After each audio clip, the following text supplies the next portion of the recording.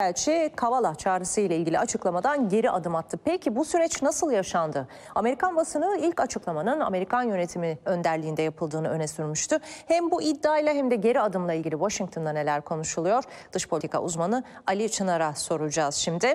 Ali Çınar merhaba. Ee, öncelikle e, Amerika'nın 10 ülkeye Kavala açıklaması ile ilgili e, liderlik yaptığı bu iddia için ne deniyor? Bunun yanıtını alalım sonra devam edelim.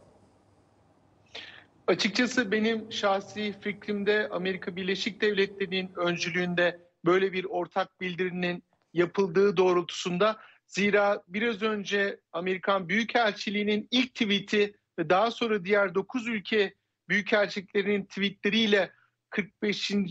Viyana Sözleşmesi'nin 41. maddesine atıfta bulunulmuştu. Yani burada Amerika Birleşik Devletleri'nin öne çıktığını, öncü olduğunu görebiliyoruz.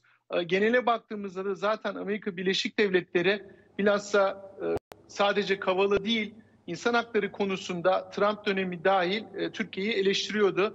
E, o nedenle de Amerika öncülüğünde böyle bir ortak bildiri ve şimdi de tabiri caizse geri adım veya yumuşama adımını Amerika öncülüğünde yaptığını görüyoruz. Şu anda Amerikan basını Reuters sadece geçti ama gözler Cumhurbaşkanı Erdoğan'ın yapacağı açıklamada çünkü Amerikan medyası hafta sonu çok detaylı şekilde acaba 10 büyükelçi e, ülkeden çıkartılacak mı, geri yollanacak mı tarzında ciddi haberler yapmıştı. Ve tabii bunun sonucunu şu anda Amerikan medyası bekliyor. Ama genele baktığımızda e, az da olsa bir yumuşama havasının olduğu başkent Washington'dan da görülüyor. Peki e, Büyükelçiler ortak açıklamayla çağrı yapmıştı ve ortak açıklamayla geri adım attılar. E, oradan henüz resmi bir açıklama gelmedi değil mi?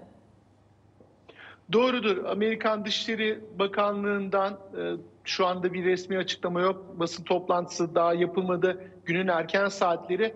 E, bazı Amerikalı gazetecilerin Amerikan Büyükelçiliği'nin tweetini kullandığını ve retweetlediğini görüyoruz. Reuters'in bir geçtiği var. Ama şu an itibariyle Amerika'nın resmi kurumlarından hiçbir e, açıklama yok. Ama şunu da belirtmekte fayda var Ceren Hanım.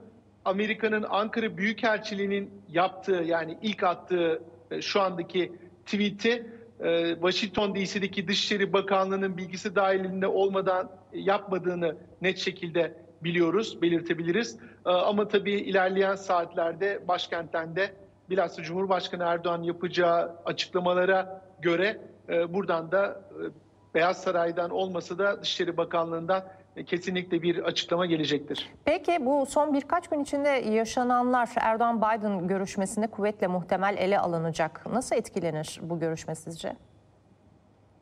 Tabii e, Washington DC'de dün akşam itibariyle Biden'ın haftalık programı açıklandı. G20 zirvesi için Perşembe günü İtalya'ya gidiyor. Ama hangi liderlerle görüşeceği net değil.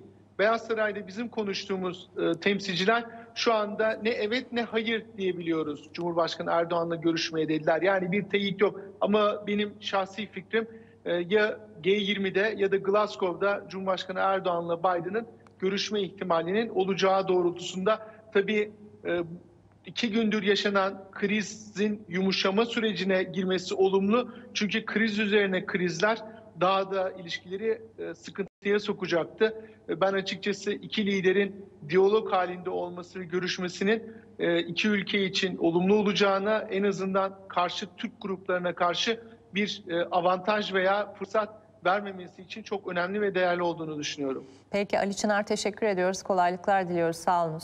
Devam edelim. Cumhurbaşkanı Erdoğan MHP Genel Başkanı Devlet Bahçeli ile görüştü. Beştepe'de gerçekleşen görüşme yaklaşık bir saat sürdü. Cumhurbaşkanlığı Külliyesi'ndeki görüşme kabine toplantısı öncesinde gerçekleşti.